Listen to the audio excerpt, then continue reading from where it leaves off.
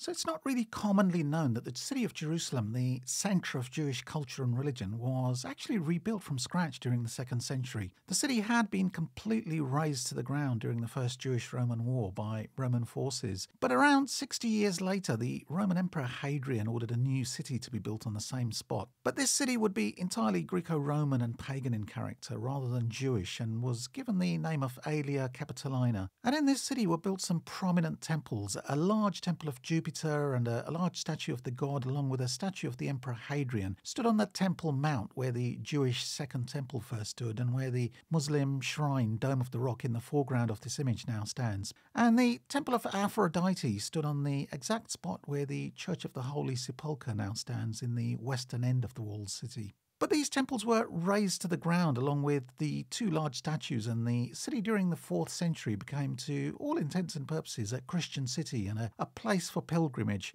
And the city was also renamed Jerusalem, and the name Aelia Capitolina abandoned and slowly disappeared from usage. So, how did this come about? Let's take a closer look into what happened, why, when, and how the temples were originally built, and when and how these temples of the city vanished in later centuries.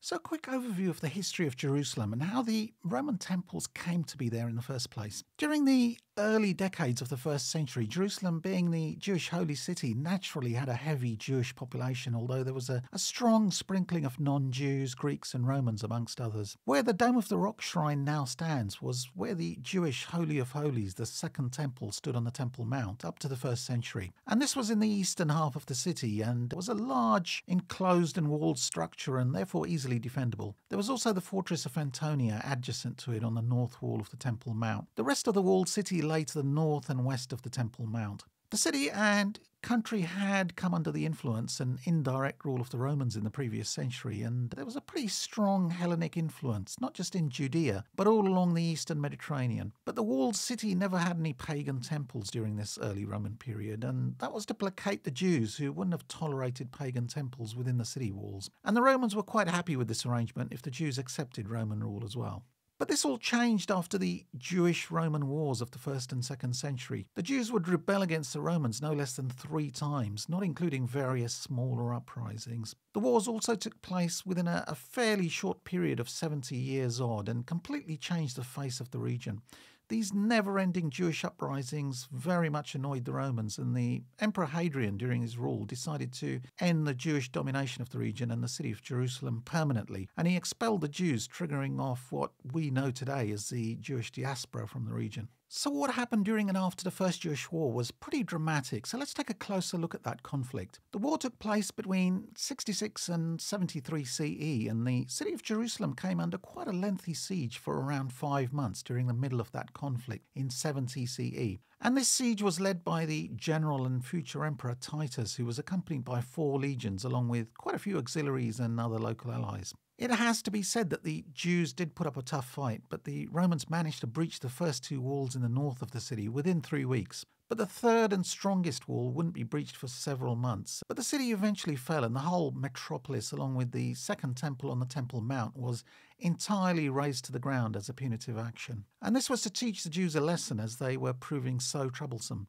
Much of the loot in the city, including what was found in the Second Temple, was taken to Rome and paraded around in triumph by Titus and his troops. The Romans also massacred a huge number of the population, taking no less than 97,000 Jews as slaves, with a, a, lot of these being used as gladiators in Roman arenas, while others were used as slave labour for the construction of the Colosseum and, uh, somewhat ironically, the Forum of Peace. But the destroyed city would be left in ruins as an example for others thinking of rebelling against Roman rule.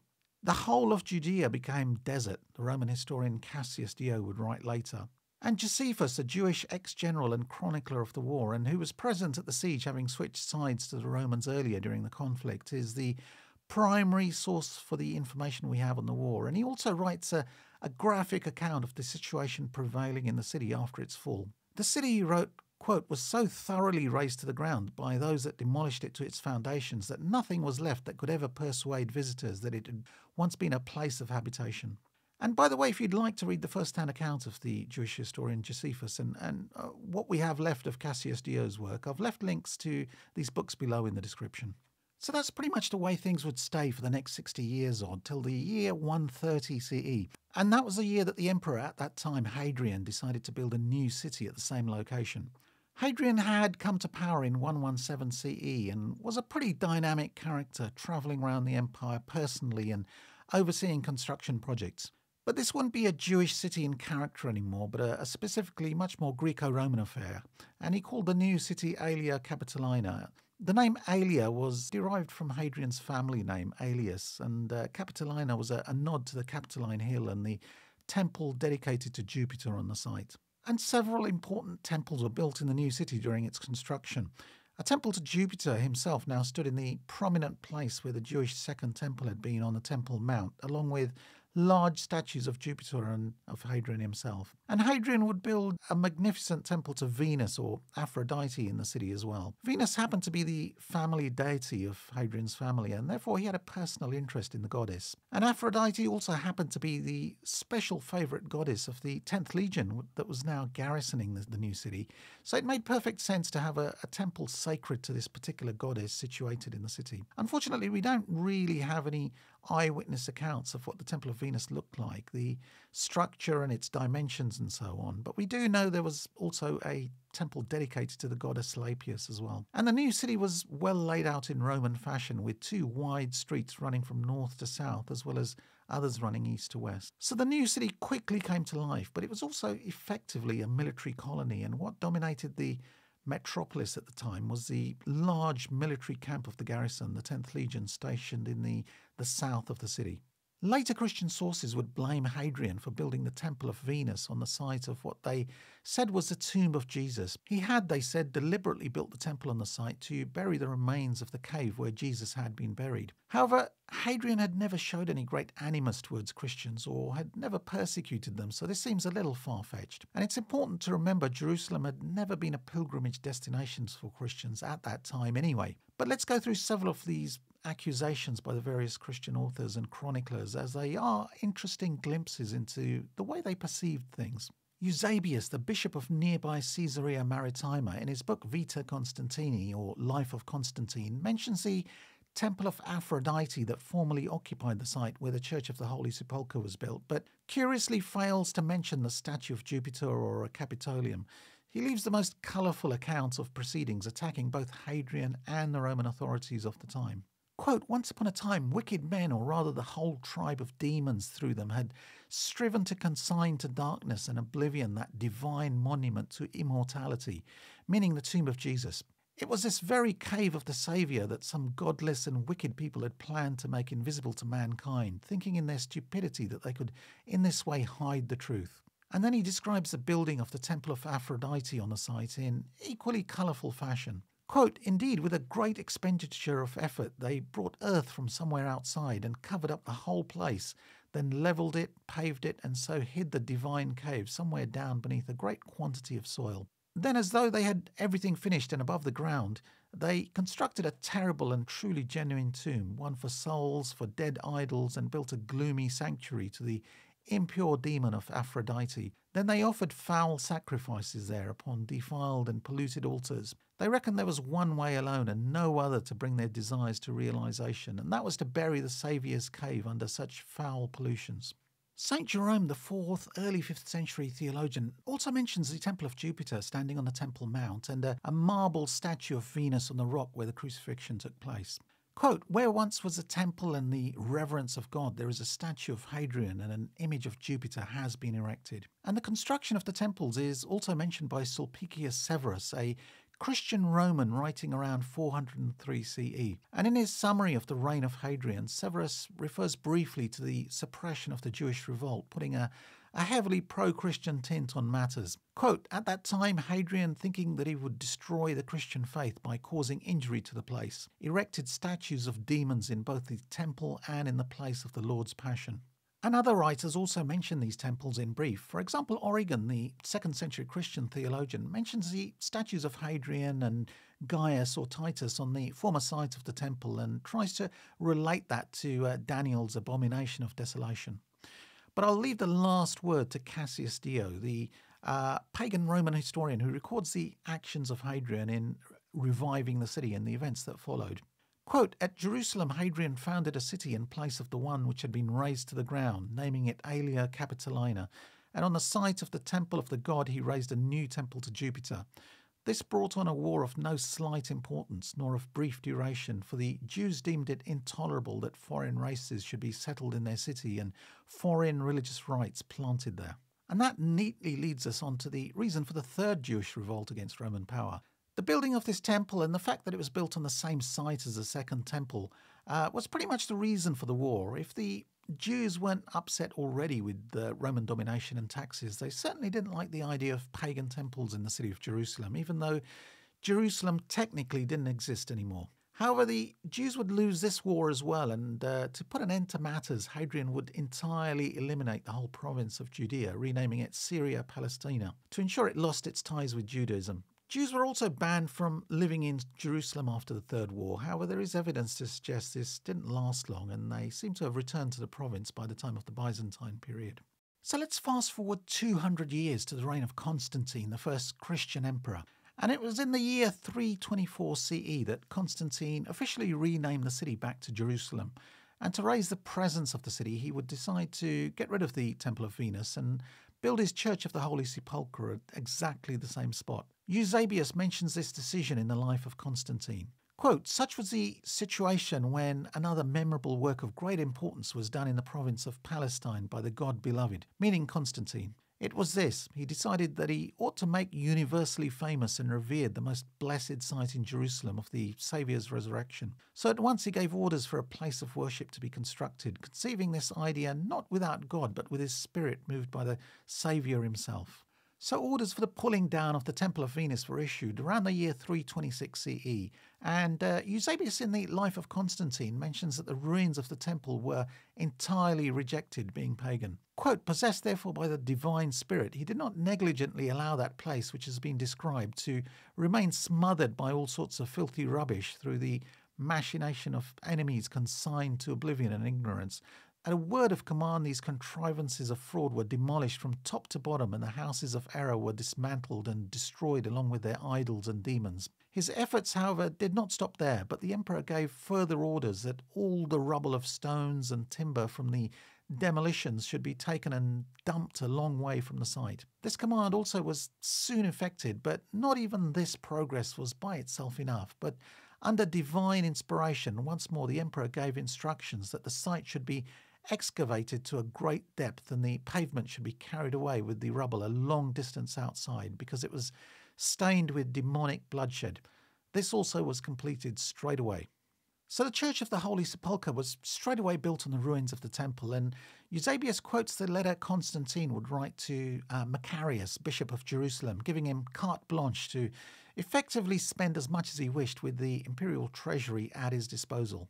Quote, the thing, therefore, which I consider clear to everybody is what I want you in particular to believe, namely that above all else, my concern is that the sacred place which at God's command I have now relieved of the hideous burden of an idol which lay on it like a weight, hallowed from the start by God's decree, and now proved yet holier since it brought to light the pledge of the Saviour's passion, should be adorned by us with beautiful buildings and a new church was dedicated on 13th September 335 CE. And this meant that Jerusalem now rapidly became a centre for pilgrimage for Christians. And this was something new, for during the first, second, and third centuries, Jerusalem had no great attachment for Christians and was never a place to travel to. On a side note, on building the church, they conveniently found a tomb underneath. Uh, now, that would have been no surprise, as there must have been numerous tombs and caves in and around Jerusalem. But this particular cave was happily assumed to have been Jesus' burial place, despite no real evidence to suggest this. And this construction of the church meant we do have some contemporary or near contemporary accounts still existing of Jerusalem or Aelia Capitolina as it was still called then, although with the empire now Christian under Constantine, the, the old name of Jerusalem was now resurfacing. However, unfortunately, these visitors were Christians and therefore had no interest in the pagan temples or even of writing about them, except uh, perhaps as a minor anecdote from a, a, greater description of Christian Jerusalem. The very earliest witness is known as the Bordeaux Pilgrim, and he or she was an early Christian traveller from Europe who went on a pilgrimage to Jerusalem in 333 CE. In other words, during the reign of Constantine. The journal kept by the Bordeaux pilgrim is known as the Itinerarium Burdigalense, or the Burgundy Itinerary in English.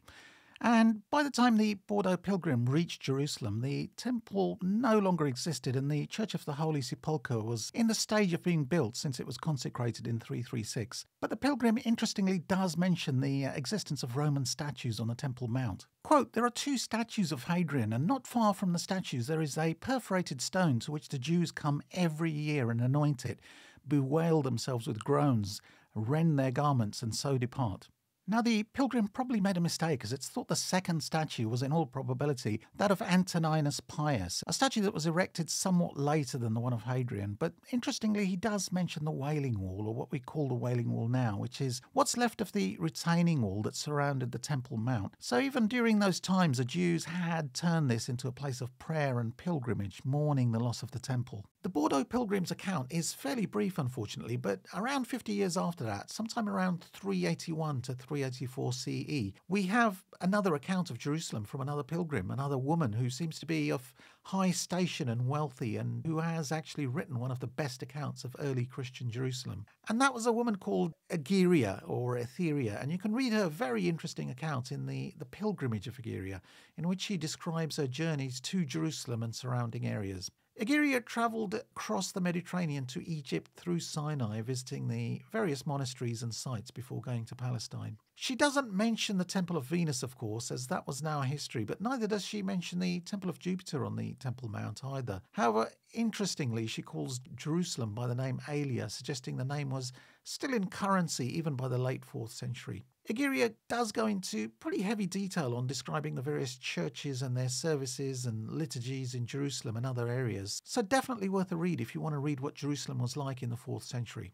A few years later, St. Jerome, writing in 398 CE, does mention that an equestrian statue of Hadrian was still standing on the Temple Mount, but he doesn't mention the, the Temple of Jupiter Capitolinus, and we have to presume that it was pulled down by the Christians by this time. Quote, so when you see standing in the holy place the abomination that causes desolation, or to the statue of the mounted Hadrian, which stands to this very day on the site of the Holy of Holies.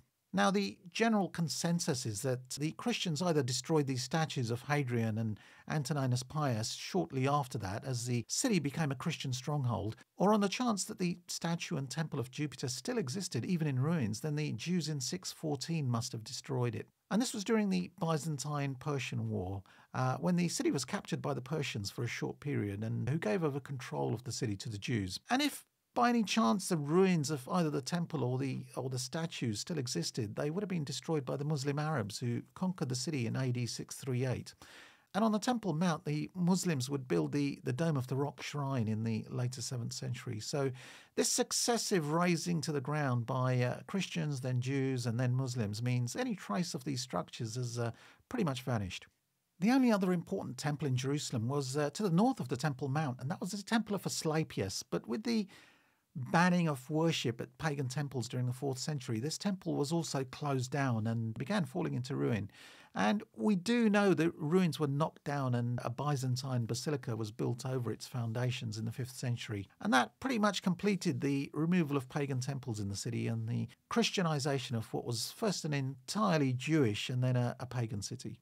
Somewhat ironically for a holy place, Jerusalem has one of the more sadder and unhappier histories of any major Christian centre. There has been various fires, riots and earthquakes throughout the centuries, but most importantly, there has been a lot of bloodshed, violence and wars in that area as well. And the Church of the Holy Sepulchre especially hasn't had a, a very fortunate history. The city was captured in 614 CE by the Persians during the Byzantine Persian War, and in the resulting fire in the city, the church was completely destroyed. However, it didn't stay in Persian hands too long, and the city was recaptured by the Byzantines in 629 by the Emperor Heraclius, and the church was rebuilt between 616 and 626 CE.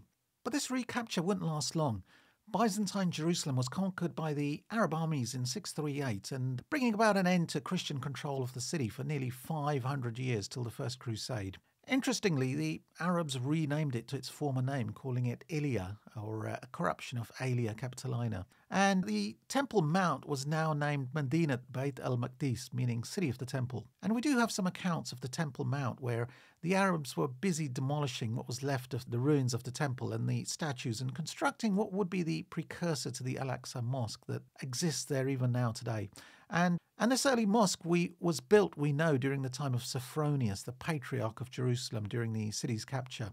Another chronicler, Anastasius of Sinai, writes that around 660 CE he saw Egyptian workers clearing the Temple Mount, presumably in preparation for building the mosque. And the debris from the clearing up, presumably some of the uh, statues and, and, and the temple or, or the ruins off, was thrown, he says, into the Kidron Valley adjacent to the Temple Mount. Meanwhile, the Church of the Holy Sepulchre from 746 to 1009 went through a, a series of more misfortunes before uh, being demolished by the Caliph Al Hakim bin Amr Allah in 1009. It was then rebuilt by the Byzantine Emperor Constantine Monomachus in 1048, shortly before the Crusades, and the Crusaders, after they conquered the city, would do some extensive rebuilding as well.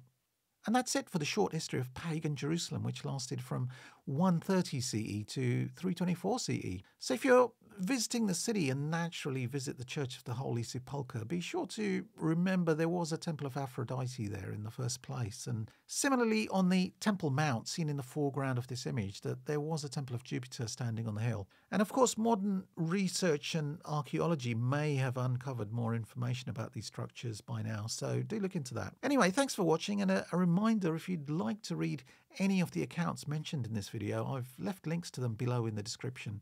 Finally, if you enjoyed this video, do consider giving it a like and the channel a subscribe.